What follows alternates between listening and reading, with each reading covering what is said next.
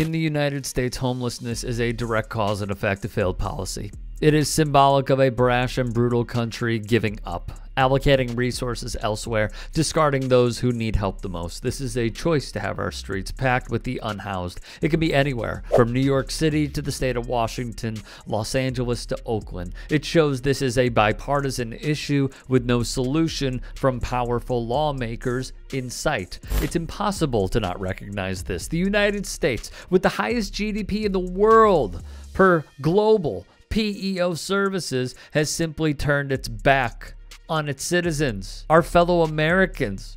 And yet, no matter the political affiliation, some use the unhoused as a photo opportunity. One thing no person should do is judge a book by its cover, though. Everyone has a story. And that's where we introduce Jeremiah Armstead, interviewed here by NBC News. For years, Jeremiah says he moved from shelter to shelter with his mom and two siblings. We was living off food stamps. What would you say were some of the the darkest times in your life?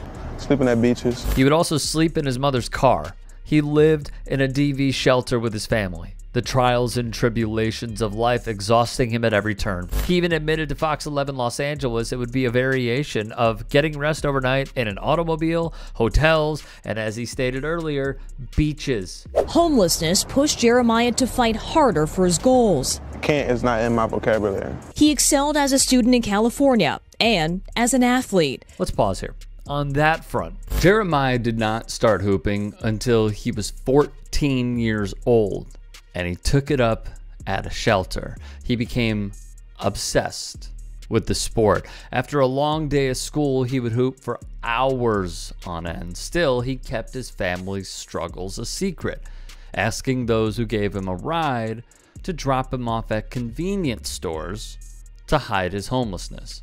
Many of his friends would wonder why he made such requests, noted Good Morning America's official website. This is a child who deserves to just show what he can do. His mother, Mindy Brooks, also spoke with NBC News. He would tell the Washington Post basketball was an outlet for him.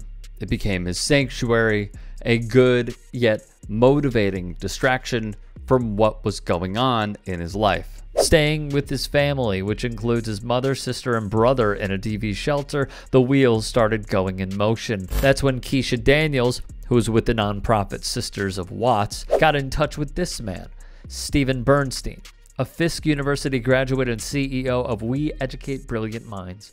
Bernstein said he had only about a month to get the job done. Thus, he got to work. Bernstein, who is white, is a former baseball player at the school. He says he was the only Caucasian person at the HBCU campus during his time there from 1988 to 1992. Another wrinkle, the head coach of Fisk University's basketball team is former NBA player Kenny Anderson. The Athletic noted Anderson was forced into the streets of New York after being evicted numerous times. Then the breakthrough happened. Through Sisters of Watts and We Educate Brilliant Minds, Armstead was accepted to Fisk University, and Anderson added him to the basketball team. Importantly, to help Jeremiah's college education, we will leave links down below in the description box. Any amount helps, guys. Jeremiah took a lot on at a young age after I became a victim of domestic violence, said his mother. I wanted him to have a chance at a happy life. He's always looked after his little brother and sister, and he's always tried to look at the positive side. I've been extremely proud of him his whole life. I'm thankful that people were willing to take a chance on me, he said. Even though I went through a tough time, it made me the person I am today. I'm excited to see how it all turns out. Jeremiah has since completed his first season at Fisk University.